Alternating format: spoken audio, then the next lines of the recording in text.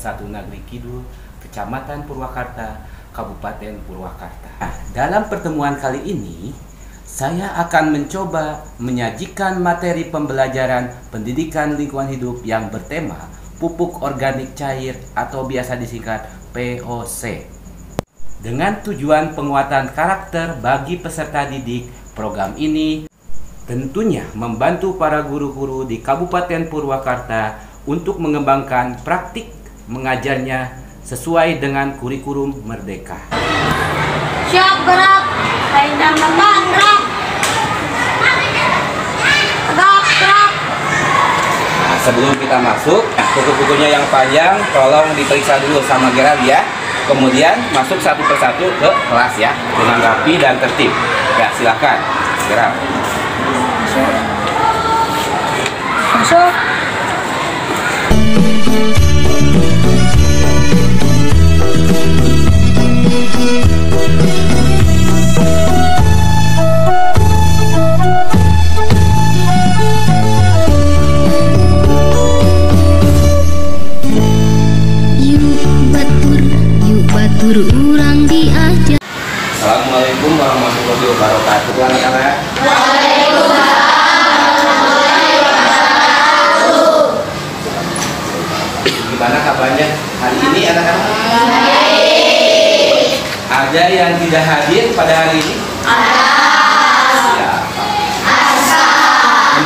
Kenapa Asia itu kenapa? Sakit. Oh, sakit. Jadi kita doakan ya kepada Aska, mudah-mudahan lekas sembuh dan bisa belajar seperti biasa lagi ke kelas dan bergabung bersama kita kita lagi ya. Kita doain bersama-sama yuk. Doa dalam hati.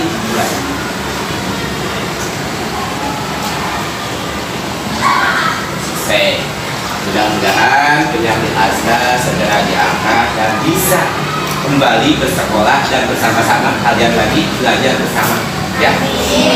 Kita memulai pelajaran, marilah kita berdoa dulu agar dimudahkan nanti dalam belajarnya. Yuk, KM-nya siapa? Nah, silahkan disiapkan.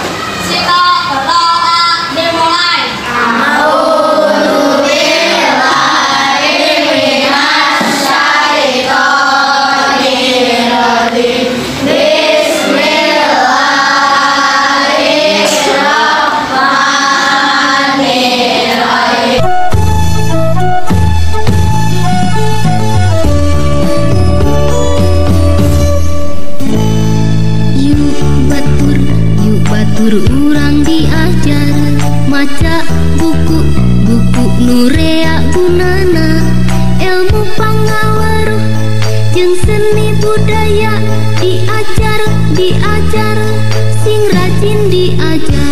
diajar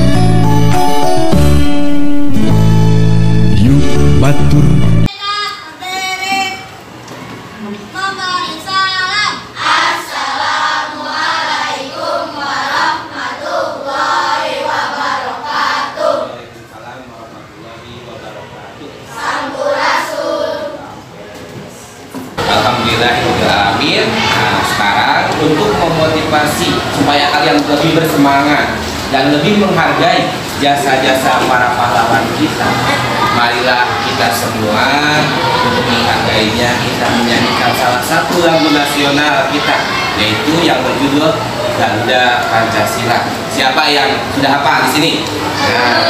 Nah, Alhamdulillah semuanya sudah hafal. Mari kita nyanyikan ya sama-sama. Ya, yuk kita bareng-bareng menyanyikannya. Garuda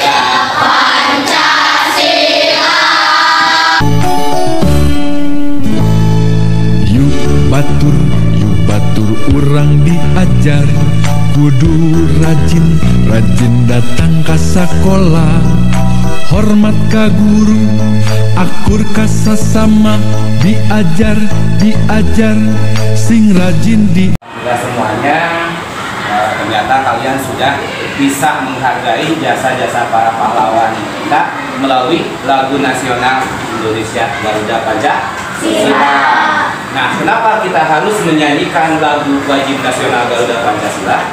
Yaitu sebagai bentuk apa? Penghormatan terhadap jasa-jasa para pahlawan yang telah gugur di medan perang. Nah, kita selaku siswa wajib wajib apa? Wajib menghormatinya ya. Jangan sampai dilupakan. Dengan cara bagaimana kita menghormati jasa-jasa pahlawan itu yaitu dengan cara belajar dengan semangat, dengan gigi dan bersungguh-sungguh agar cita-cita kita tercapai ya.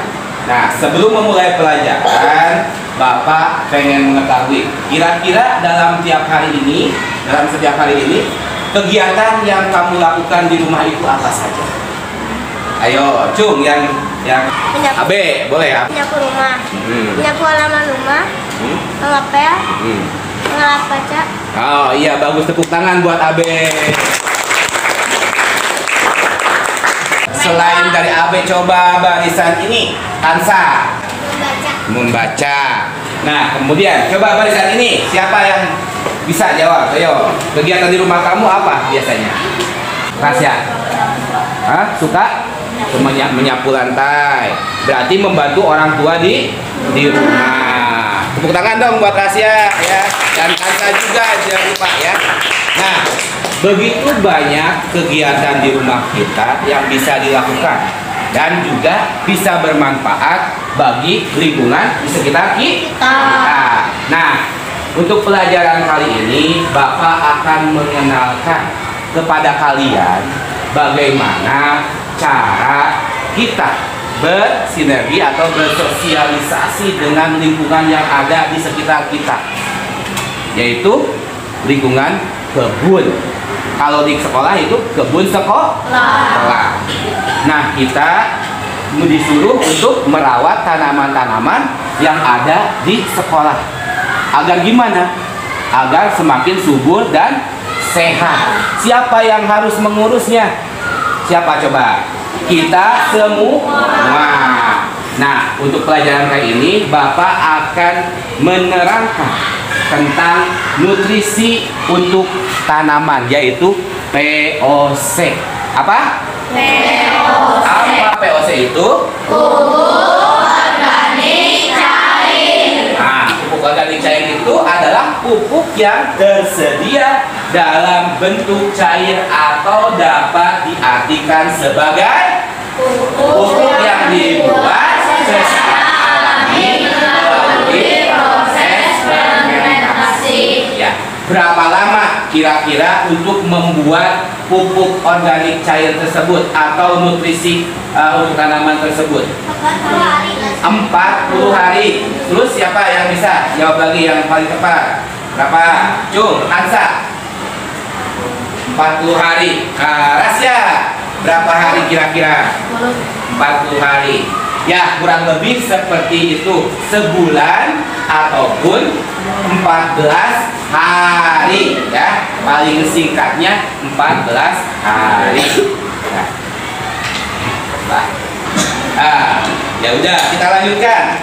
Selain dari apa namanya untuk mengatasi eh, apa tanaman yang kurang subur, nah, salah satu keunggulan POC itu yaitu mampu mengatasi defisiensi atau kekurangan nutrisi yang diperlukan unsur hara atau zat yang diperlukan oleh organisme untuk hidup dan menilai unsur hara. Kalau misalnya tanpa nutrisi, tanaman itu akan menjadi tidak baik pertumbuhannya kadang jadi baik, kadang kekeringan, kadang dihinggapi oleh ha- hama. Nah, oleh karena itu penggunaan pupuk organik itu sangat penting bagi tanaman untuk menghasilkan tanaman yang bermutu dan berkualitas ya. Nah, sekarang kalian sudah mengerti apa yang Bapak jelaskan barusan? Oh ya. Nah, untuk lebih mengetahuinya, kita semua mari kita ke kebun sekolah untuk meneliti dan mengeksplorasi apa-apa yang ada di lingkungan sekolah ini, di taman sekolah ini. Nah, di sana kalian harus meneliti tanaman-tanaman apa saja yang subur dan yang tidak subur. Kondisi tanahnya seperti apa? Kemudian tanaman apa yang cocok untuk di tanah yang seperti apa? Ya, kalian harus menelitinya ya. Ayo kita siap-siap untuk pergi ke taman sekolah. Udah siap semuanya? Ayo siapkan, yuk ke sekolah. Tanaman tanaman yang ada di sekolah ya.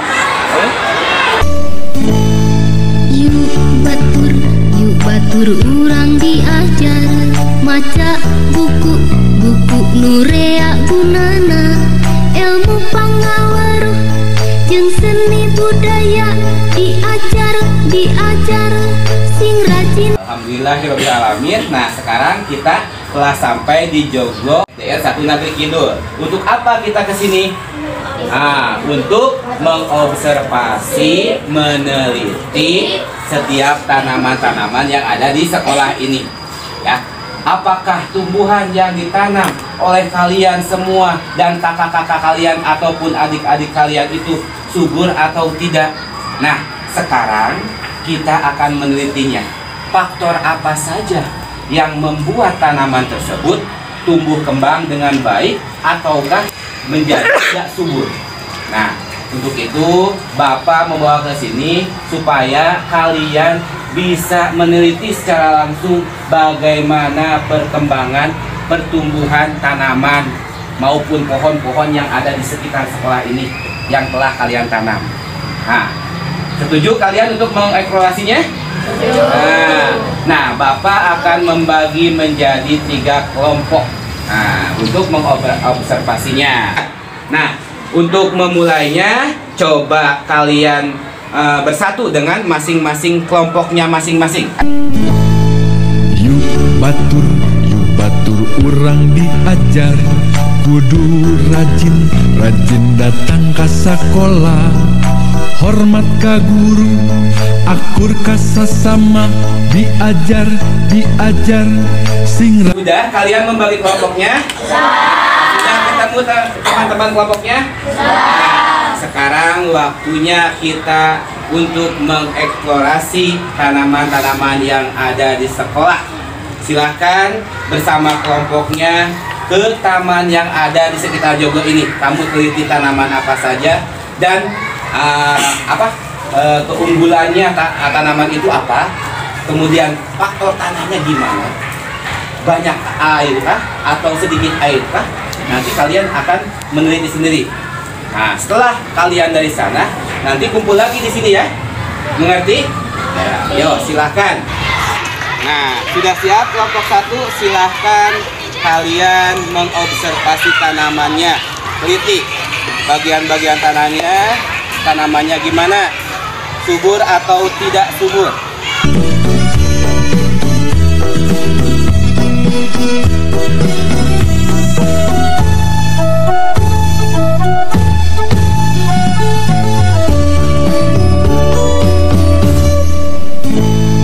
Yuk batur, yuk batur urang diajar.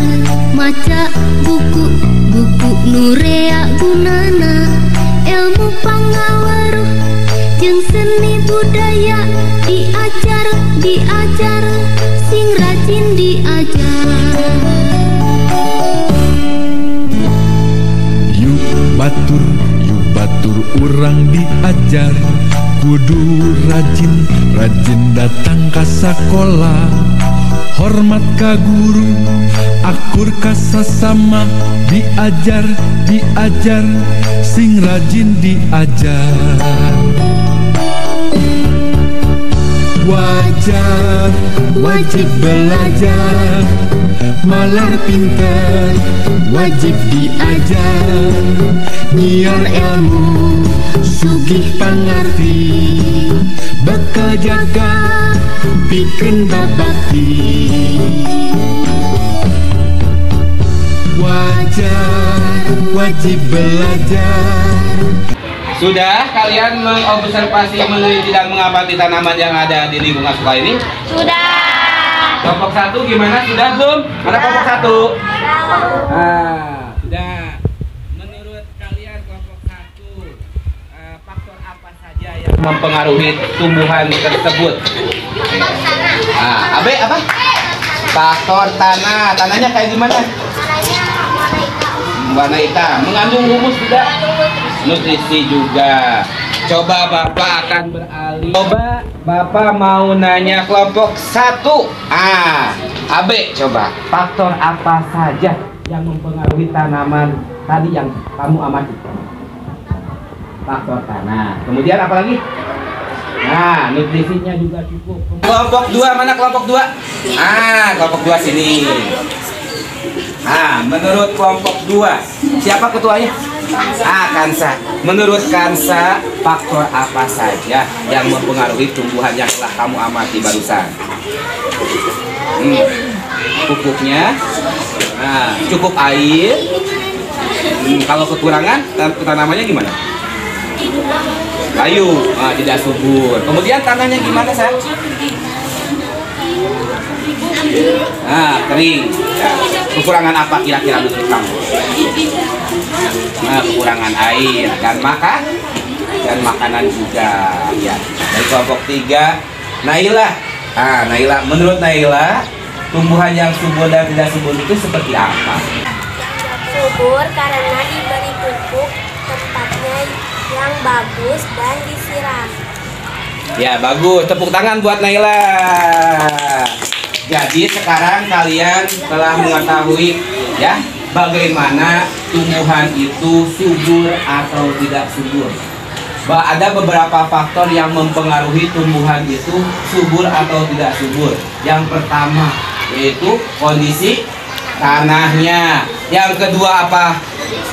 Nutrisinya, pupuknya. Yang ketiga apa? tempatnya juga ya tempatnya juga apakah intensitas cahaya mataharinya cukup atau tidak ada kan tanaman yang cukup atau kurang mataharinya sehingga membuat tanaman tersebut menjadi tidak su tidak subur bahkan layu kepanasan malah kering kurang matahari malah lah layu. Nah, semua faktor itu yang mempengaruhi tumbuhan berkembang biak. Oleh karena itu, kalau kita di rumah maupun di sekolah ingin bercocok tanam, alangkah baiknya kita memilih tanaman apa yang cocok di tanah yang mana. Ya, apakah di belakang rumah yang cukup mataharinya atau di depan rumah tanaman yang bagaimana yang cukup untuk mataharinya? ataukah tanaman itu berupa sayur-sayuran ataukah buah-buahan nah kalian cari tahu mana tumbuhan yang cocok untuk ditanam di depan atau di belakang rumah kamu ya nah dari kesimpulan ini kita harus mengambil kesimpulan bahwa tanaman-tanaman tersebut tidak luput dari beberapa faktor yang mempengaruhinya. Yang pertama tadi apa? Faktor tanah. Yang kedua apa? Yang ketiga apa? Air. Kemudian yang keempat cua, cuaca dan sinar matahari. Nah, sekarang Bapak akan menjelaskan bagaimana cara menggunakan nutrisi yang baik bagi tanaman. Nah, di sini Bapak punya contoh cara membuat nutrisi yang ah, ramah lingkungan di sini. Perhatikan. Nah, di sini Bapak sediakan ada gula merah, ya. Kemudian ada perasan air beras dan juga ada EM4 yang nantinya akan menjadi pupuk organik cair. Nah, apa fungsinya masing-masing zat ini? Yang pertama, nah, gula merah fungsinya apa? Untuk glukosa atau sumber makanan bagi tanah dan tumbuhan. Nah, yang kedua yaitu apa ini? Perasan, air perasan be- beras. Fungsinya adalah merangsang tumbuhnya pucuk atau daun. Apa? Merangsang tumbuhnya tumbuhnya pucuk atau daun. Nah, kelompok tiga mana kelompok tiga? Nah, apa fungsi pra- air perasan beras untuk tumbuhan? Nah, yang tadi Bapak ucapkan. Untuk Untuk apa? Ah, untuk merangsang pertumbuhan untuk merangsang pertumbuhan tanaman, daun, pucuk, batang. Nah, ini fungsinya air perasan beras. Yang ketiga yaitu EM4. Nah, EM4 fungsinya adalah untuk mempercepat mempercepat pe- pe- pertumbuhan tanaman ya mempercepat pertumbuhan tanaman terutama bagi komposnya bagi nutrisinya jadi nutrisinya diserap langsung kalau dicampur dengan EM4 nah semua jenis ini semua zat ini sangat bermanfaat bagi tumbuhan dan apabila dicampur gula merah kemudian ah, air perasan beras kemudian EM4 maka akan terciptalah satu zat yang berguna bagi tumbuhan yaitu apa? POC singkatan dari apa POC? Organik cair yang berfungsi untuk menyuburkan dan memberi nutrisi pada tanah tanaman. Bagaimana cara membuatnya? Yang pertama kalian sediakan tadi apa? Sebutkan yang keras. Kamera, kemudian air perasan beras, kemudian empat. Nah, kemudian semua bahan ini nantinya dicampur menjadi satu langsung menjadi POC yaitu yang berguna untuk nutrisi tanaman ya. Nah, dari penjelasan Bapak eh, barusan, kalian ada yang kurang mengerti? Tidak, mengerti semua ya? Ah, mudah-mudahan kalian mengerti semua. Ya, demikian pembelajaran hari ini. Mudah-mudahan ada manfaatnya. Di lain kesempatan kita dapat bertemu lagi di pelajaran pendidikan lingkungan hidup selanjutnya. Ya. Sekarang silahkan anak-anakku yang hebat ah, beres-beres bukunya kemudian kita siap-siap untuk membersihkan uh, lingkungan sekolah dahulu atau lingkungan kelas dahulu sebelum pulang ya. Jangan lupa. Ya.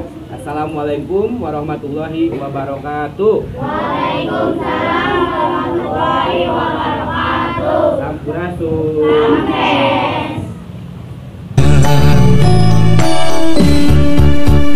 Wajib, wajib belajar Malar pintar, wajib diajar Nyiar ilmu, supaya TTBA